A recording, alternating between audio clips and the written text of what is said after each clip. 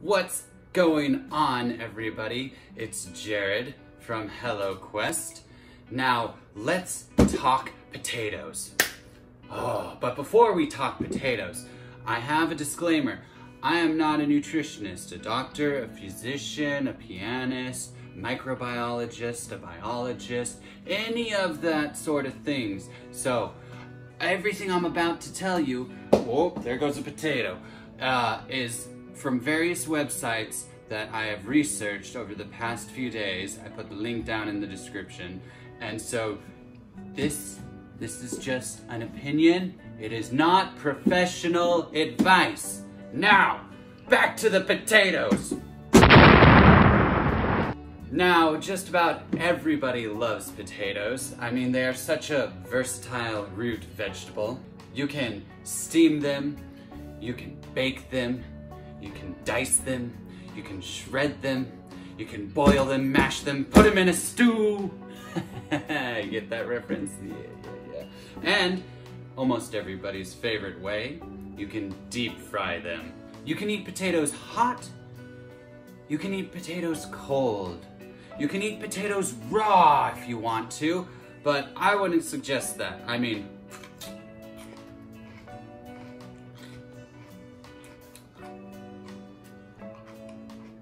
It's not the best idea in my opinion. But hey, if that's what you want to do, you do you. I'm not here to tell you what to, not and what to do. Oh. Now in front of me, you can see I have a wide variety of potatoes. And there's a reason for that. Because they're all different, each one has different properties. For instance, the one I took a bite out of is red potato. See? Red potato. Red potato. Now, according to my research, red potatoes contain the highest amount of vitamins and minerals, specifically the ones that are anti-cancer and anti-inflammatories. And they also boost the metabolism of carbohydrate breakdown. So, you can utilize the carbohydrates you get from the red potatoes very well. Next, we have the sweet potatoes. Now these potatoes are delicious. They are naturally sweet. The inside is orange. Look at Now, there is another kind of sweet potato that looks purple on the outside, but is white on the inside. Ugh. Crazy, right? Now, sweet potatoes are really high in fiber, and they also help with connective tissue, bone health, and prevent blood clots. And because they are naturally sweet, they're not very high in sugar, so it doesn't raise your blood sugar. So if you're a diabetic, sweet potatoes are great. And you know what? I actually think I want to put one of these in the microwave. Hold on one second.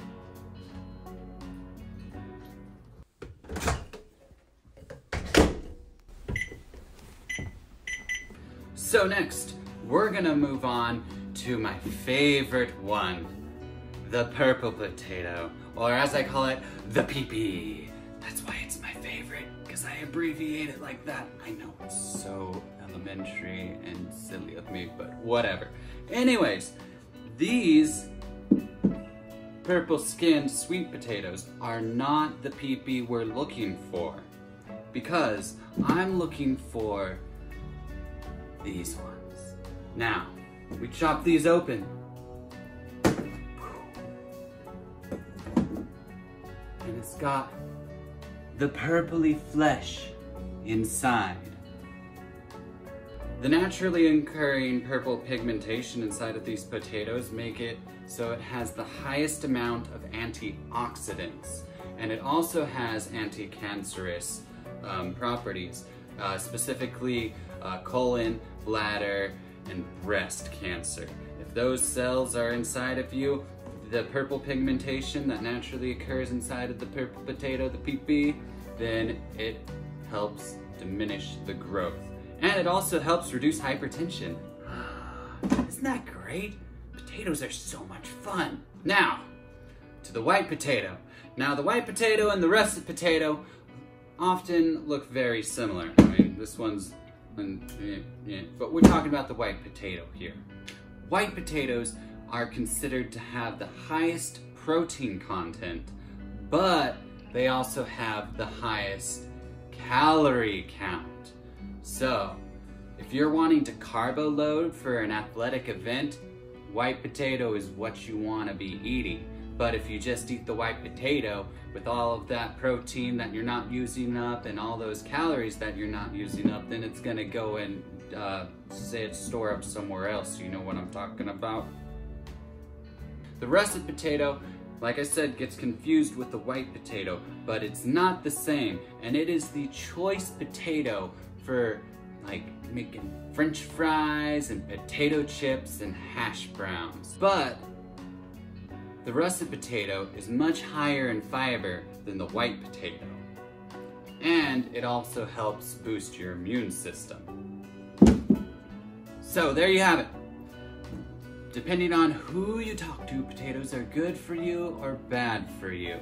But really, it's all about how you potato, how much potato you're eating, what potato you're eating, how much of which potato you're eating, how your potato is prepped, presented, and consumed, and if you're exercising. I mean, really, if you're eating any foods at all and you're not exercising, it's not gonna do you any good. Personally, I love potatoes. I eat them all the time. And, oh. Ah.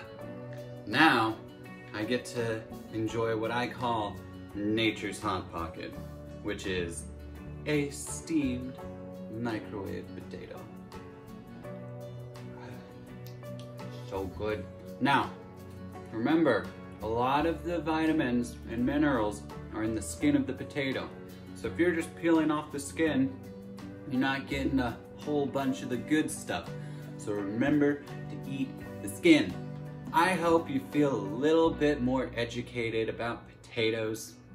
If not, that's cool too. I hope you found some entertainment watching me grasp all these various potatoes. You guys have a wonderful day. I'll see you later.